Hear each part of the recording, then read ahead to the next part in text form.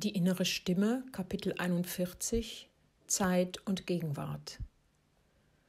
Seid erneut gegrüßt, ich bin Joshua. Ich komme heute, um meine Besprechung von Ein Kurs in Wundern mit dir fortzusetzen. Du, das echte Du, Geist, Sohn Gottes bis ewig. Die Wirklichkeit dessen, was du bist, hat kein Ende. Oder in deinen Worten, du wirst ewig leben.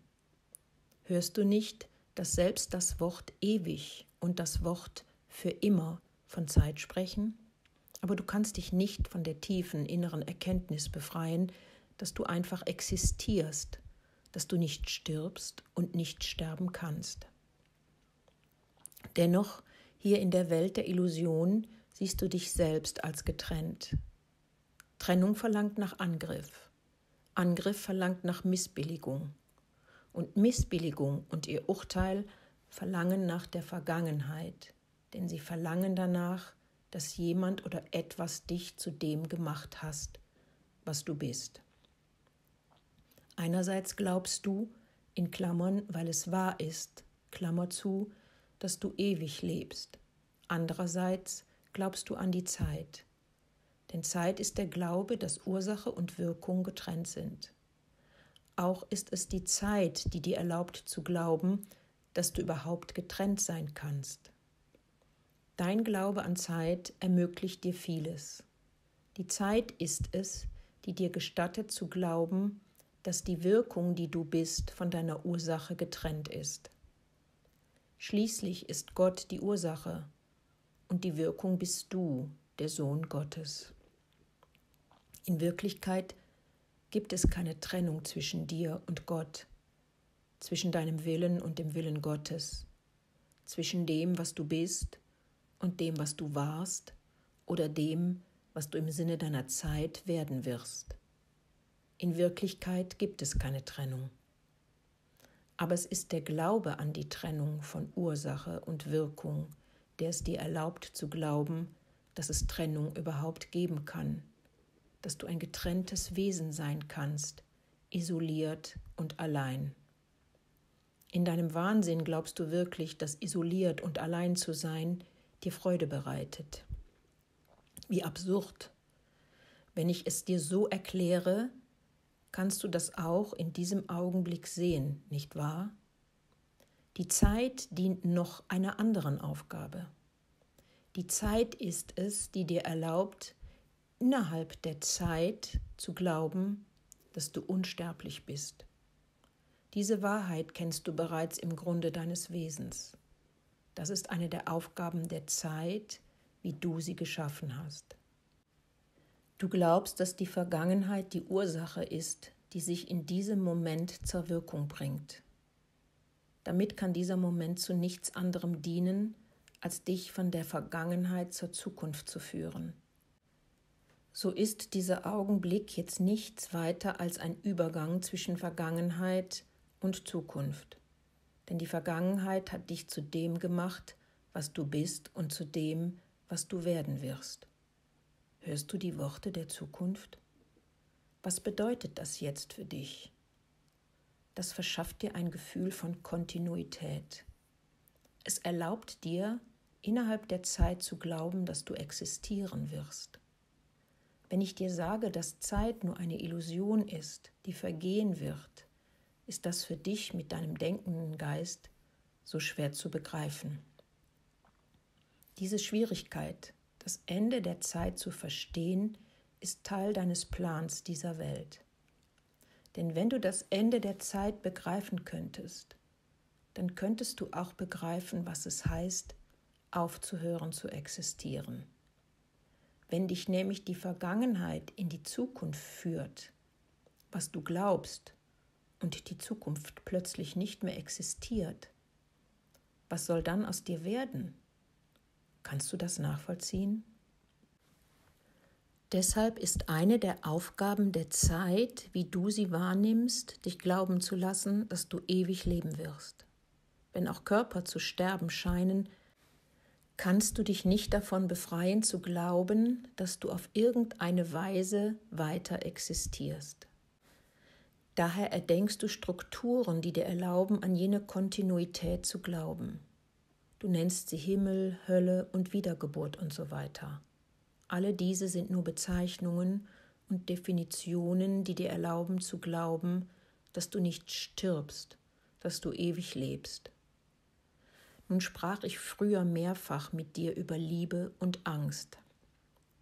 Ich sagte dir, dass Liebe in ihrer Essenz unveränderlich ist. Liebe wird ausgetauscht. Liebe wird gegeben und empfangen und sie wächst. Liebe wird durch das Geben und Empfangen erweitert. Die Essenz der Liebe ist aber unveränderlich. Wenn du das Wort unveränderlich hörst, was musst du dann empfinden? Du musst eine Ahnung der Ewigkeit empfinden. Denn wenn sich Liebe nicht verändern kann, kann sie offensichtlich auch nicht sterben.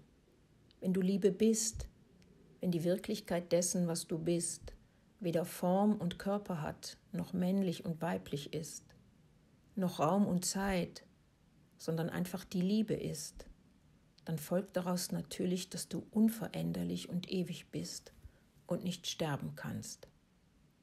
Ach, aber es gibt zwei Emotionen, erinnerst du dich? Liebe und Angst. Angst ist buchstäblich der Grundbaustein dieser ganzen Welt, die du siehst. Dies erklärte ich dir auch schon früher. Denn in deiner Angst, die aus deinem Glauben an Trennung heraus entstehen muss, in deiner Angst siehst du eine Welt, siehst du von dir getrennte Wesen. In deiner Angst siehst du eine Welt, die aus ihrer Vergangen heraus bestimmt, was du bist. Du siehst Brüder, die die Ursache deines Elends und deiner Traurigkeit sind und auch die Ursache deiner Freude und deiner Liebe, wie du sie hier zu erfahren scheinst.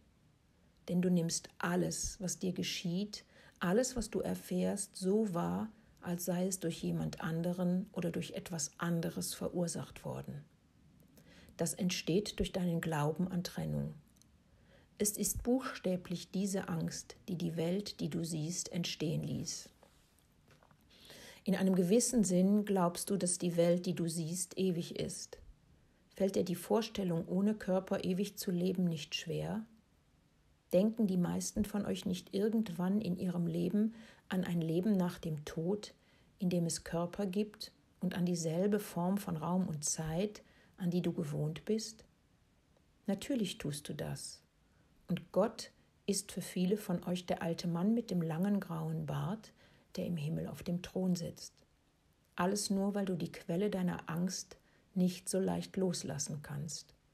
Die Projektion eines Körpers auf Gott entsteht durch deine Angst. Aber ich sagte dir immer und immer wieder, dass Gott Geist ist und nichts anderes. Wenn nun die Liebe unveränderlich ist, was wäre, wenn du deine Welt durch die Augen der Liebe sehen könntest? Könntest du dann verstehen, dass Ewigkeit und ewiges Leben ist, ohne glauben zu müssen, dass die Vergangenheit die Ursache dieses Moments der Gegenwart und letztendlich die Ursache der Zukunft ist, die die noch zu werdende Gegenwart ist?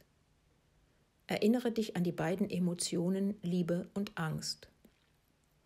Gut, du machst es so. Du betrachtest sie als Gegenteil dessen, was sie eigentlich sind. Du schaust auf Angst und nennst es Liebe. Du schaust auf Liebe und siehst sie durch die Augen der Angst. Aber wenn du auf Angst schaust und sie Liebe nennst, was geschieht dann? Erinnere dich an das, was ich dir heute erklärte. Angst ist letztendlich das, was für dich definiert, was du bist.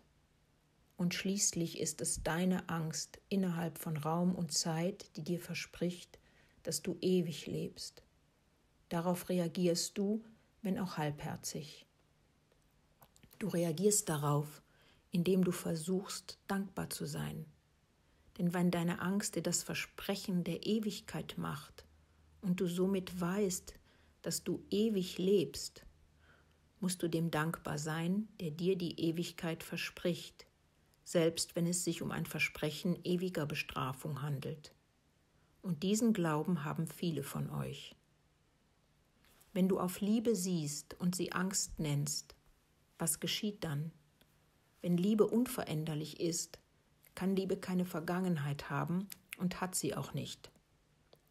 Liebe hat und kann keine Zukunft haben. Wenn du auf Liebe schaust, wenn du dich der Liebe öffnest, wirst du erkennen, dass du einfach bist. Wenn du Liebe siehst, gibt es keine Vergangenheit. Es kann keine Trennung von Ursache und Wirkung geben. Darum kann es keine Zeit geben. Du bist daran gewöhnt zu fragen, hat Gott immer existiert? Wird Gott ewig existieren? Das sind die Fragen deiner Zeit und deiner Angst. Es gibt nur eine Antwort. Gott ist. Und weil Gott Liebe ist, ist Liebe. Und weil du auch Liebe und der Sohn Gottes bist, bist du einfach. Kannst du die Gegenwart der Liebe hier in deiner Welt finden? Oder wie ich es ausgedrückt habe, kannst du die Gegenwart finden? Kannst du die Gegenwart begreifen als das, was einfach existiert? Gibt es einen Ort, wo du Leben und die Unveränderlichkeit der Liebe und deine eigene und die Gottes und die deines Bruders erfahren kannst? Ist das möglich? Und wenn es möglich ist, kann dich das von der Angst befreien, die für dich deine Trennung und deine Vergangenheit definiert? Die Antwort ist, du kannst das wirklich. Wie findest du dann zur Gegenwart? Du schaust einfach auf deine Welt, auf deinen Bruder und auf dich selbst, ohne eine Vergangenheit. Ohne eine Vergangenheit, fragst du?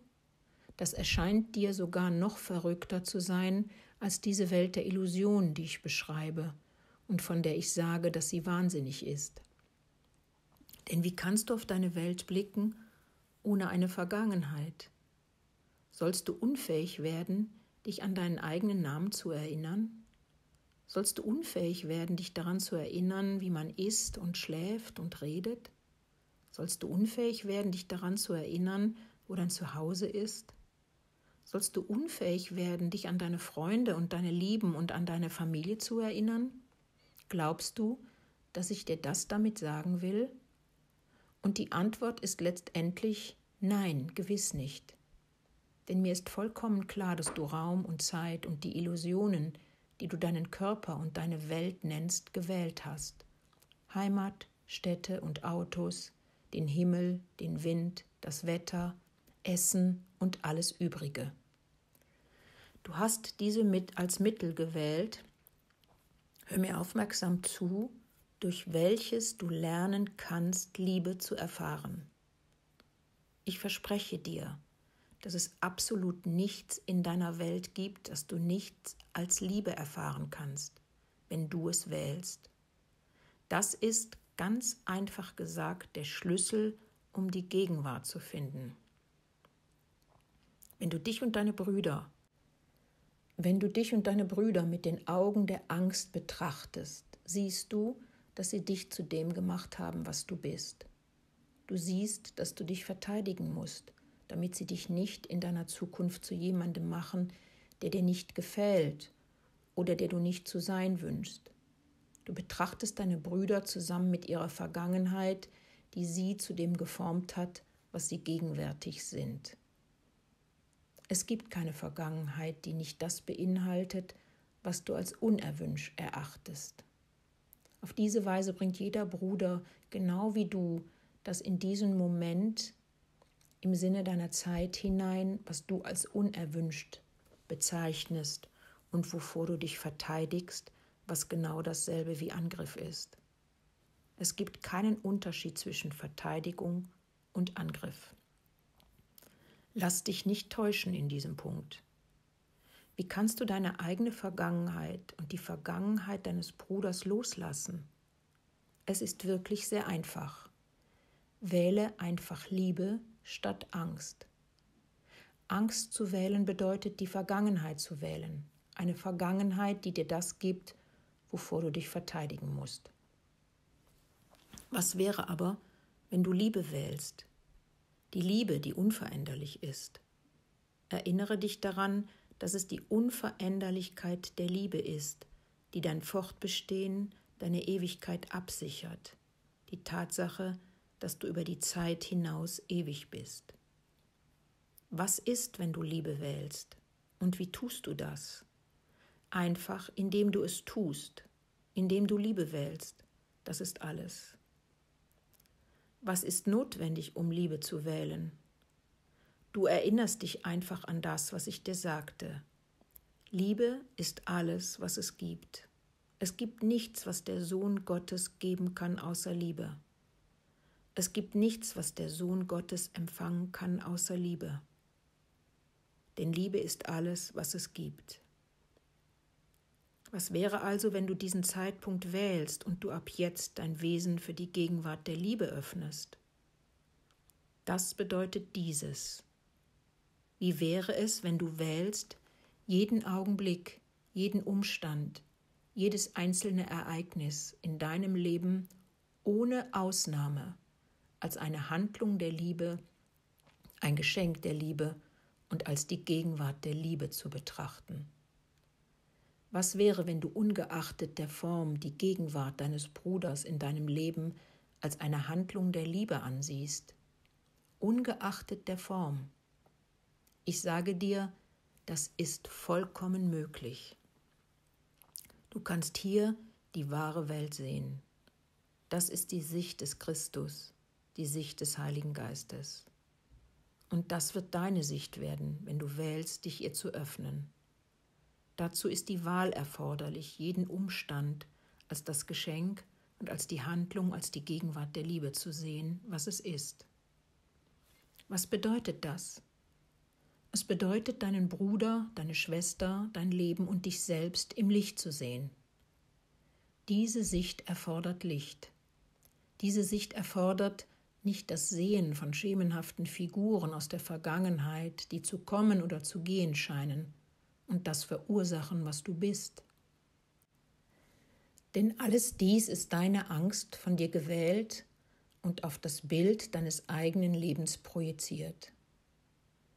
Wenn du auf dich als das Licht schaust, das du bist, und dieses Licht auf deine Brüder, deine Schwestern und auf dein Leben ausdehnst, dann wird alles, was du siehst, Liebe sein, immer. Der Weg, die Wirklichkeit zu sehen, der Weg hier wahrhaftig wahrzunehmen ist, auf alles durch das Gewahrsein deiner eigenen Wirklichkeit zu schauen, die in einfachster Form die Gegenwart des Lichts, die Gegenwart der Liebe ist. Ich sage dir also heute, dass du kein Gefangener der Zeit bist. Dein Glaube an eine Zeit, die aus der Vergangenheit durch den Übergang der Gegenwart in die Zukunft zu fließen scheint und die scheinbar garantiert, dass du ewig lebst, ist nur das, was dich in deiner Angst gefangen hält.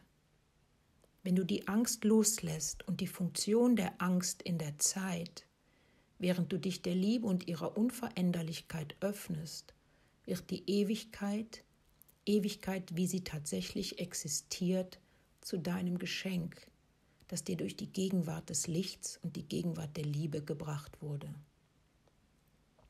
Alles, was nötig ist, um das zu erfahren, ist, dass du dich ihrer Gegenwart öffnest, in dir selbst und in deinen Brüdern.